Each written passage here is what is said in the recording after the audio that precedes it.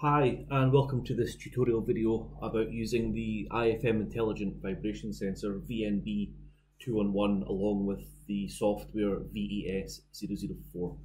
Um, for those that have watched the previous tutorials regarding the VSE diagnostic modules, we still have the test project open here which we're going to use today.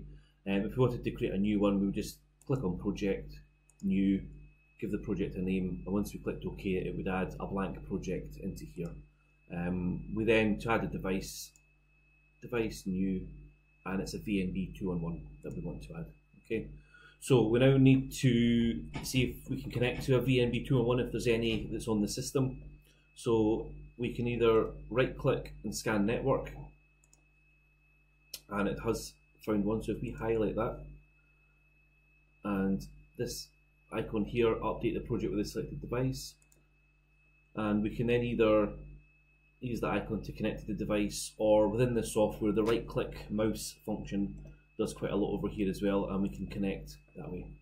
So we've now made a connection we know because we have the green tick here and we now need we can look at the settings which is things like firmware and stuff serial number actions we can execute a, a self-test which has succeeded but more importantly is the parameter set so double click on that to open up common configuration allows us just again information about firmware, um, what the inputs and outputs are doing, documentation about who the customer is,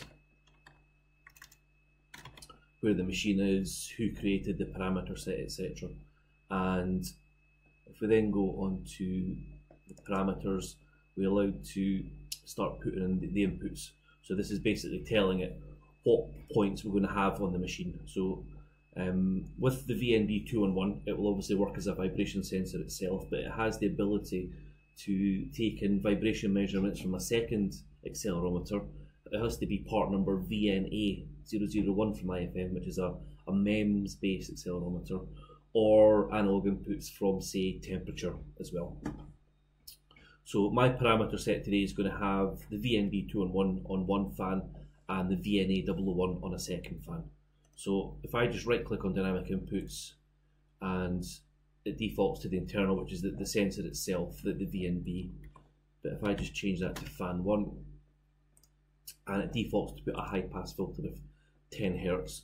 So anything below 10 hertz, the sensor will just ignore. And we'll create our second dynamic input, which it defaults because it knows it's the VNA. And if I just change that to fan two, and again, we've got the high pass filter of 10 hertz. Um, if we wanted to put temperature, that would be there, but we can only have one other measurement point in, so it won't allow me to do that now. So for the objects, right click, I'm going to set, we've either got RMS acceleration, RMS velocity, peak acceleration all in the time domain, looking for vibration problems, or upper and lower limit monitor are setting alarm points based on if we had an analog input coming in such as temperature, we can set yellow and red limits for those. Um, but I'm going to set an RMS velocity for both and change the VNB to fan 1. It's coming from the fan 1's internal sensor, this particular object. And if we go into processing, we have a low pass filter defaulting at 1000 Hz. And with the high pass filter on the sensor itself, that's giving us a 10 to 1000 Hz measurement range as per the ISO 10816 standard. And we then have the ability to change alarm limits here as well and how often the averaging takes place. Um, if I create a second object, which is the peak acceleration coming from fan 1, and we'll just change the name to also relate to that. And the processing here defaults to a low pass at 6000 Hz, which is the maximum measuring range of the sensor. So this is 10 to 1, 10 to 6000 Hz, sorry that this will now monitor over. But we can change that to put in high pass or even band pass filters as well. And you just type manually type over here anything that, that you like. But I'm going to keep that as the low pass. It puts in some um, default limits, but again, these can be changed just by typing over as well. So I'm just going to do that for the second object. So RMS velocity on fan 2 so the RMS velocity is generally going to pick up things like unbalance, misalignment, uh, looseness, that would tend to fall in the 10 to 1000 hertz. So because we've set the, the low pass, um, the, the, the, low end filter at 10 hertz, this is, is any machine that's 600 RPM and above. So if I just change that, we'll also set the A peak as well for fan 2. So the history with all those parameters, the, the default measurement intervals five minutes, which is giving us 298 days, but we can just change those either by ticking each one individually and manually typing over, or if we want to change them all, we can just click on that top pencil and say every two minutes. And that is still giving us 119 days before it overwrites itself. And the alarms, we just right click, new alarm, warning gives us an overall yellow alarm for anything that's being monitored and we'll also set a, a, damage alarm as well. So I can now go up the top here and this icon is write parameter to the device.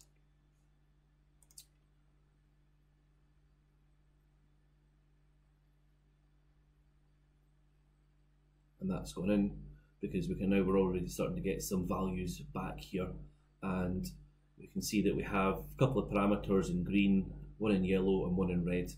And we now have beside the VNB in our data tree here, a red LED icon as well. So this is giving us an overall health status of anything that this sensor's being monitored.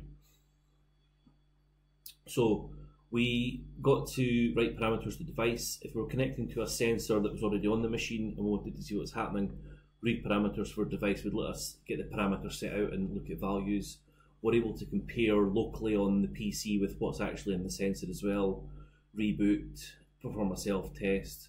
We can look at um, the data, so we're able to look at bar graphs.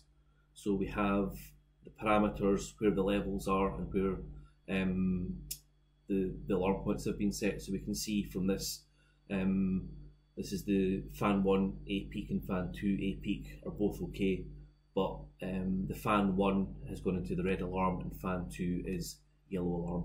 We're obviously able to look at things like in a table view as well and look at the data moving across the screen live.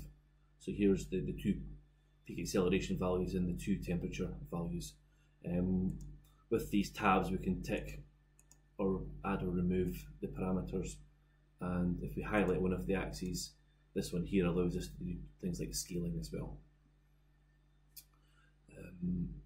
So we have looked at the monitoring window. If we want to tick on this, it shows us what our inputs and outputs are doing. Um, open spectrum monitoring window. Uh, we'll, we'll come back to that actually. We'll look at the, the time waveform. So this is showing the, the time waveform that's being generated by fan 1. If I want to change that, I can show fan 2 or go back.